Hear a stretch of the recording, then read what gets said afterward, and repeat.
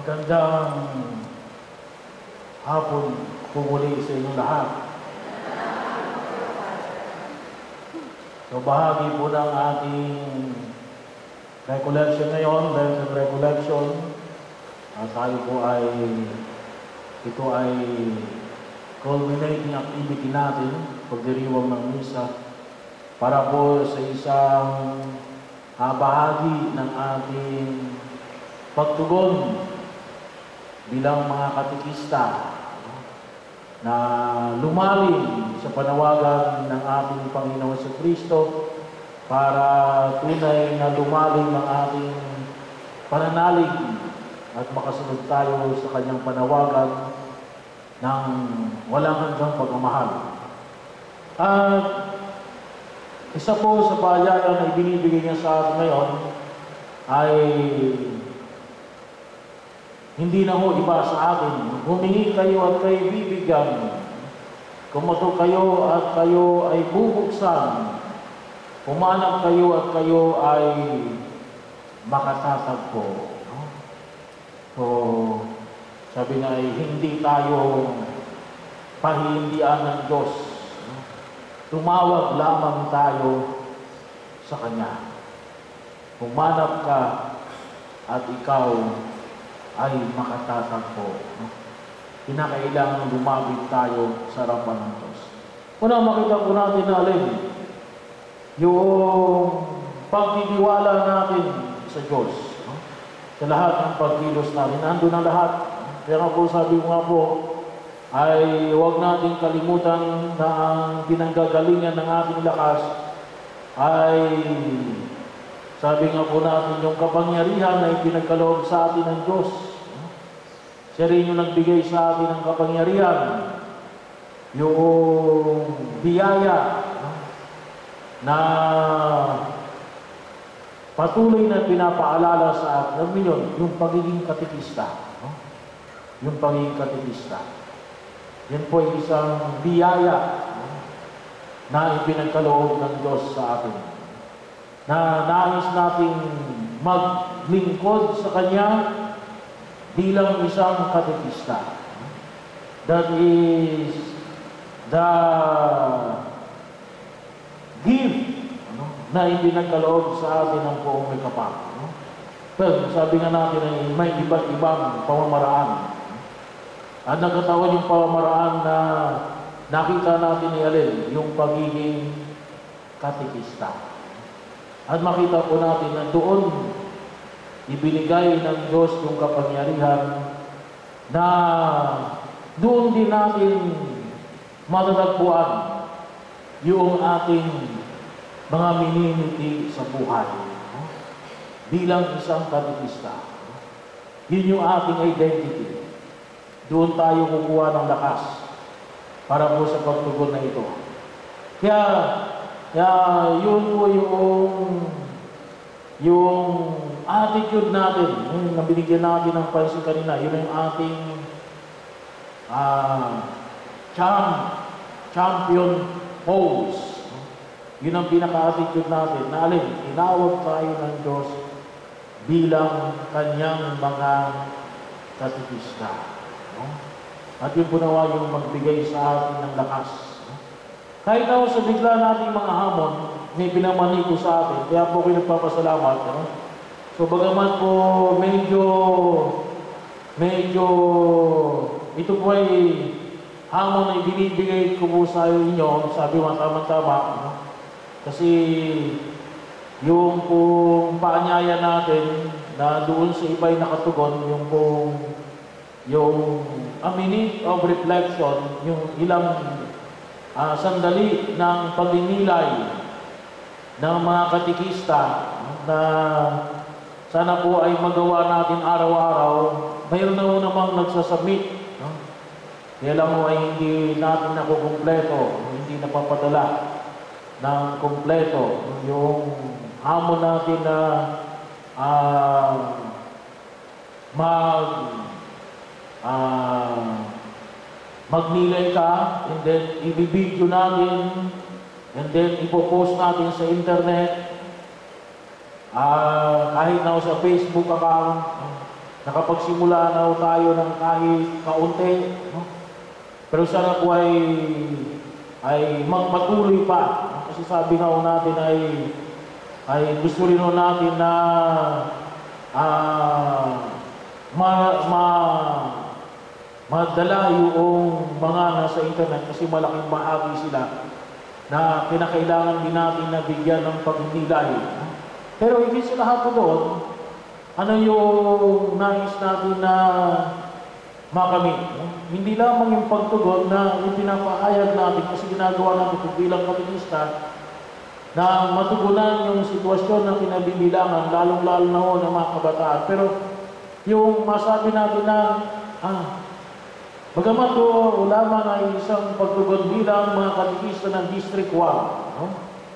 ay malaki na rin pong bahagi. Eh, bagamat ito po ay additional na trabaho para sa atin, sa mga nagdanay sa tumugon, ay masabi natin na ah, gumagawa tayo ng pamamaraan na marating natin yung lahat ng aspeto ng ating pagkilos sa daigdig na ito. No? So, kasama na rin po dyan yung sinabi nga po natin, yung sa mga high school na pagtuturuan natin. No? Pero, tulad ng pinahayag ng may kapal, no? Kumanap kayo at kayo bibigyan. Kumato kayo at kayo ay bubuksan. Oh, humingi kayo at kayo bibigyan, maganap kayo at kayo makatatagpo. Ito yung bahagi na kung saan ay, ay given para sa bawat isa sa atin. Kaya lang anong kinakailangan? Ah, ay kinakailangan na tinasabi nga, ipus. Ipus mo yan. I, itulak mo ang iyong sarili sa gawain na ito ng paglilingkod sa harapan ng buong may kapal. Kaya sabi ko nga po ay ako'y nagpapasalamat sapagkat ah, ah, ito ay magpapakita ng ating sariling kakayanan at kagustuhan na nais talaga natin maglingkod sa Diyos bilang mga katikista. Kasama yung regular nating mga gawain no? na pagkilos. Yung pong inyong presensya ngayon, na nagnanais natin na mapalalim yung ating pananampalataya, yung ating pong Lenten recollection, ay yung na, na napabilang sa District 1, yung ating regular na ah, monthly recollection, yung pong ating mga in-service training, yung pong ating mga updating, yan po ay medyo malalaking mga hamon. No? Ngayon ay kayo sasapa, kayo ay panahon ng na pagbibigay nyo ng recollection, pagtuturo ninyo sa mga bata, ay bahagi po yan na kung saan ay makita po natin na ah, maging lakas natin. Kasi bakit? Ah, ba't mo ginagawa ko? Kasi maliwanag sa atin na ah, ito ang daan ng aking kabanalan. Dito ako magiging banal.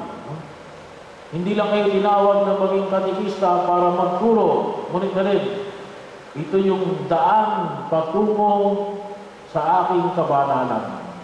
At alam niyo ba, yung magandaan din ay alin, ah, para din yung iba, ay ito rin yung maging daan, maging bahagi din ako ng kanilang pagtawid sa dagat ng daigdig na ito hanggang makarating sa pangpang ng walang hanggan.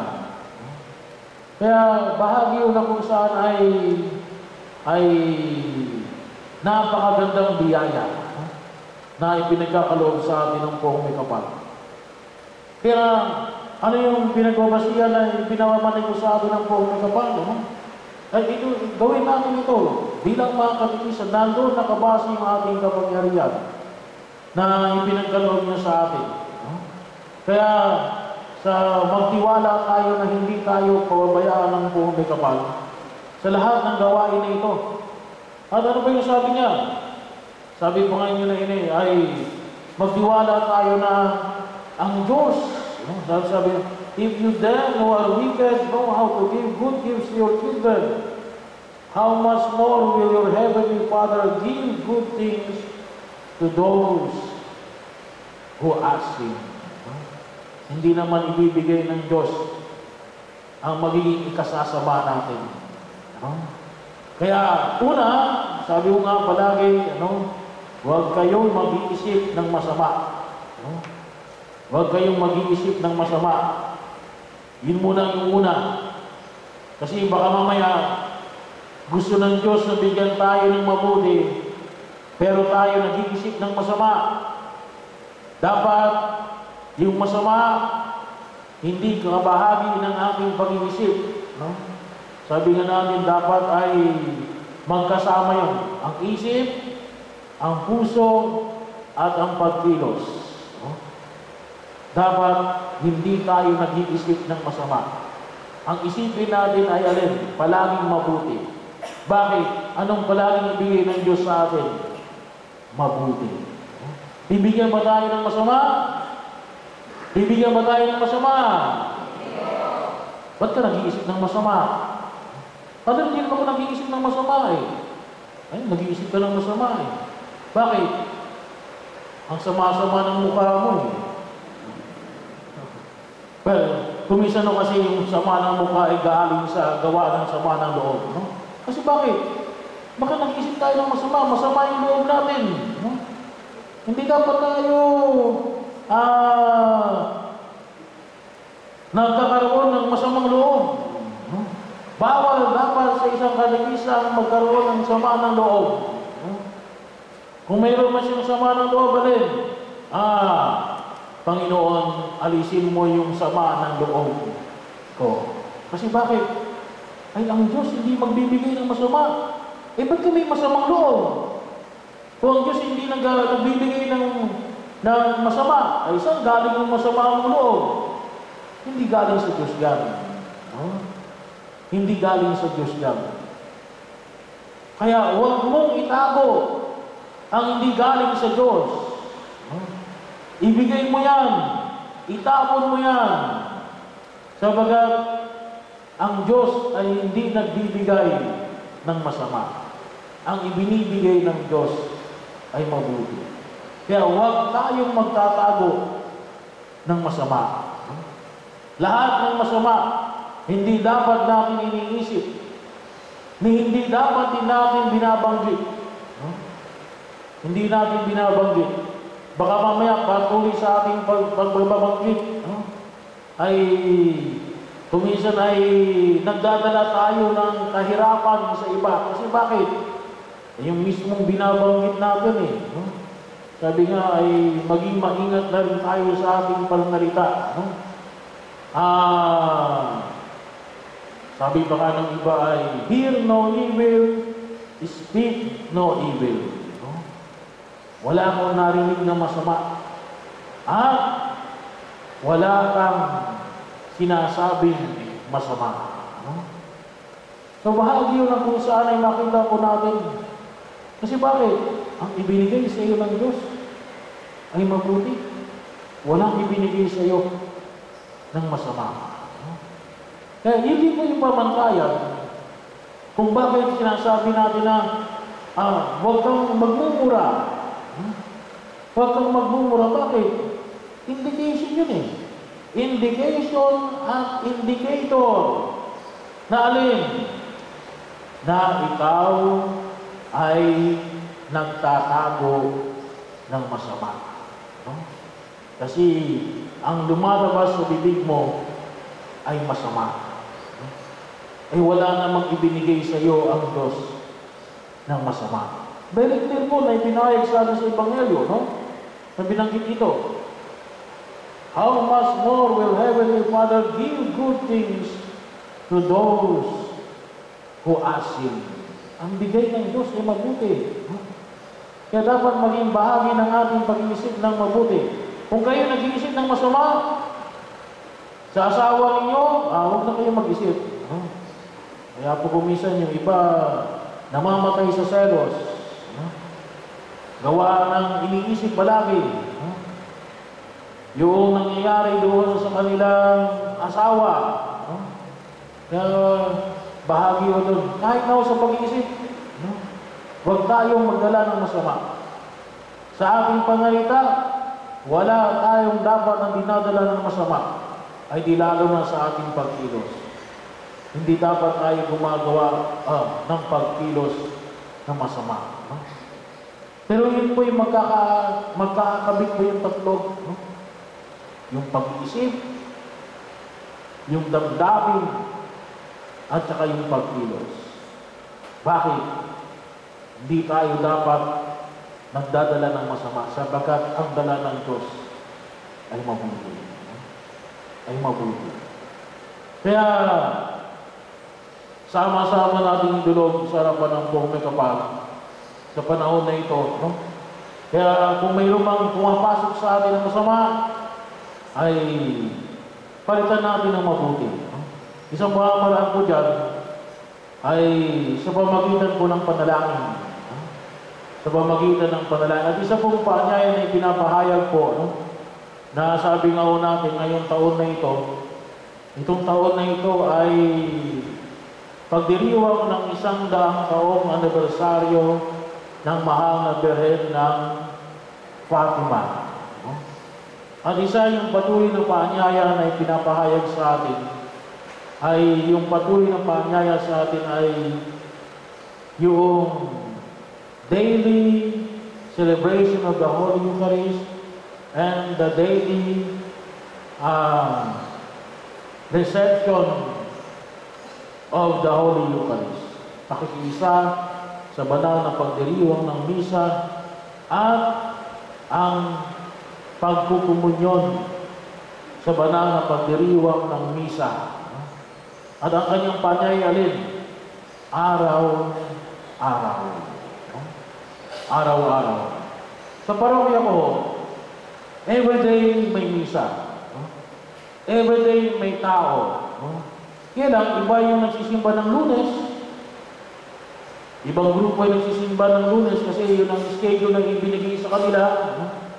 Iba yung nagsisimba ng martes. Iba yung nagsisimba ng miyerkules. Well, hanggang biyernes, ng kanya-kanyang grupo, bagamat naman lahat nagsisimba ng araw ng linggo. Well, sabi ko nga yung hamon na ipinamamani ko sa atin ngayon sa isang daang taon ng anibersaryo ng mahal na birin ng Fatima ay alin.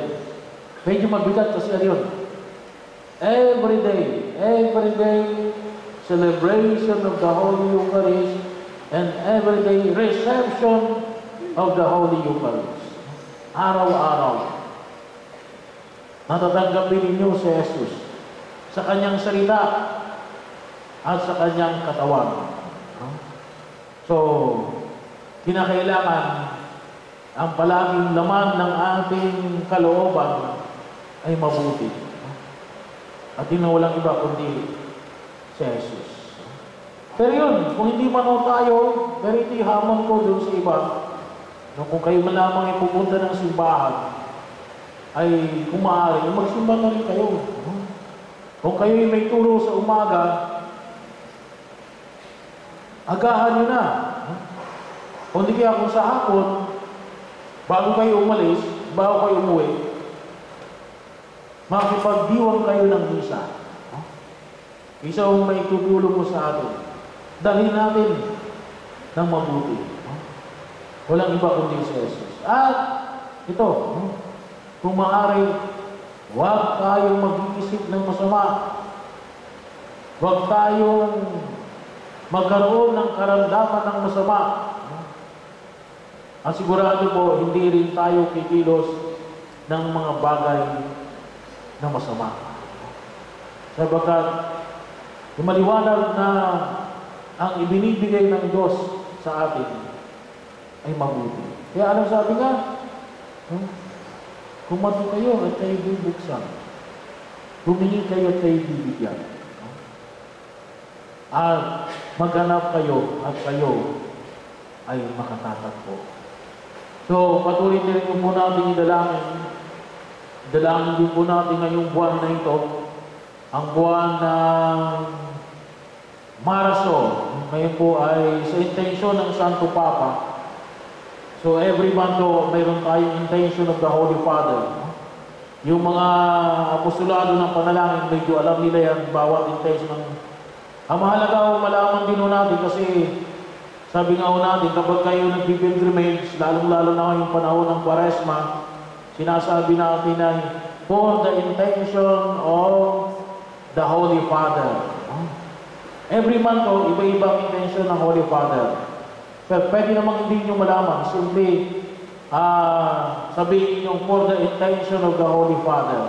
So kasama nyo yan, lalong-lalo na ho sa ating mga pilgrimages kung saan man kayo pupunta, sa inyong bisita iglesia, o kung tawagin natin ay Lakbay Dasal, ngayong panahon ng Quaresma o Paris Station, let us also remember the intention of the Holy Father. And we have to consider na ang palaging intention ng simbahan sa pamamagitan ng banal na Santo Papa ay alin, mabuti. No? At ano yung intention ngayon ng Holy Father para po sa ating mga kapatid na pinag-uusig sa iba't ibang bahagi ng daigdig. Ipanalangin natin. No? Ipanalangin mo, kapag intention natin ay mabuti, no? para sa mga persecuted Christian, baka nasa isip ninyo ay sana mamatay na yung mga nagpe-persecute. Ah, hindi mabuti yun. No? Masama pa ng intention yun. So ano yung masama, anong mabuti intention? Yung intention para sa mga kapatid natin na pinag-uusig. Ni hindi tayo dapat mag-isip ng masama doon sa mga umuusig. Bakit? Ang dala natin ay mabuti. Hindi tayo nagdadala ng masama. Kasi yun yung sabi ng Jesus. Ang ibinibigay niya ay mabuti. Kaya dapat hindi tayo nagtatago ng masama. Ang ating dapat na dala-dala ay palaging mabuti.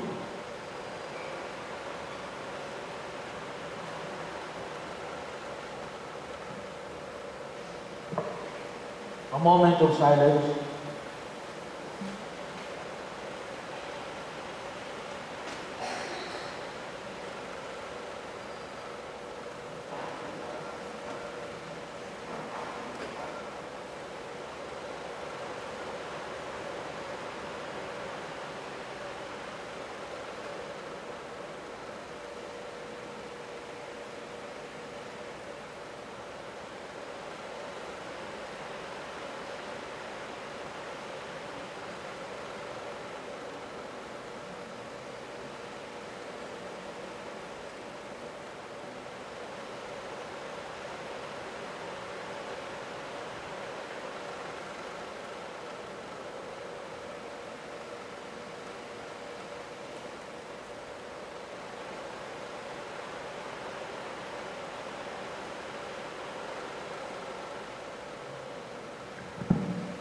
Let us all stand.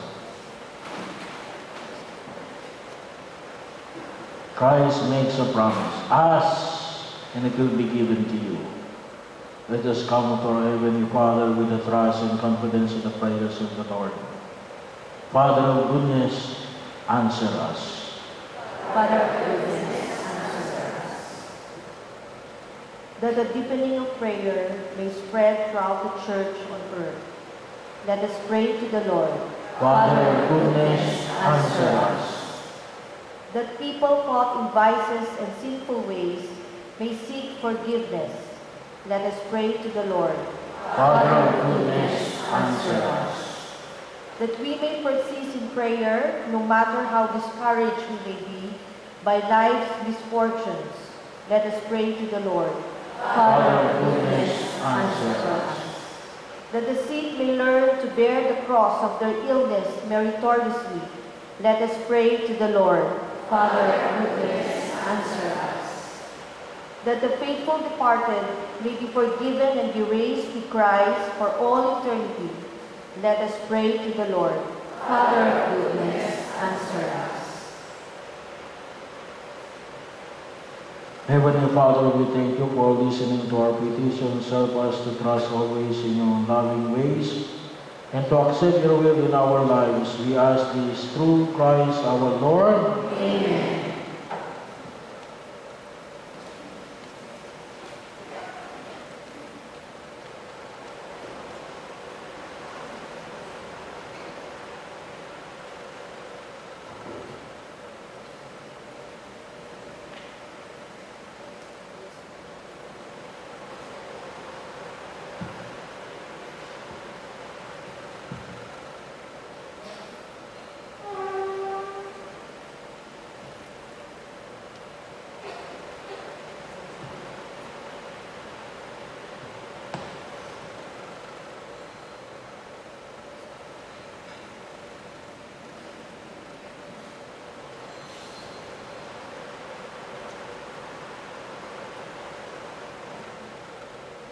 Blessed are you, Lord God of all creation, for through your goodness we have received the wine we offer you. Fruit of the wine and work of human hands, it will become our spiritual drink. Blessed be God forever.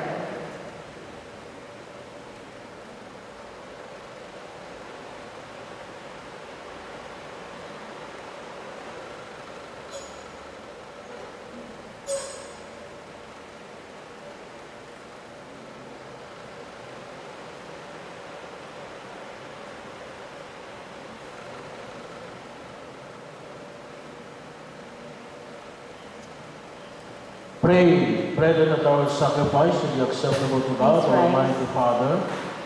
May the Lord accept the sacrifice of your hands for the praise and glory of his name, for our good and the good of all his holy church.